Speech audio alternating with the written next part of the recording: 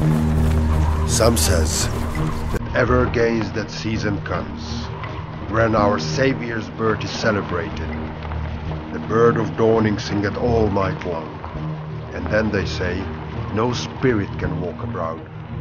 The nights are wholesome, then no planets strike, no fairy takes, nor witch had power to charm.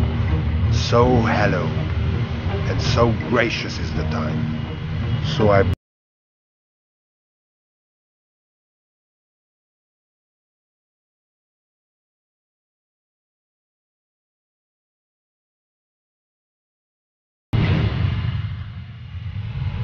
Merry Merry Christmas and Happy New Year to you all.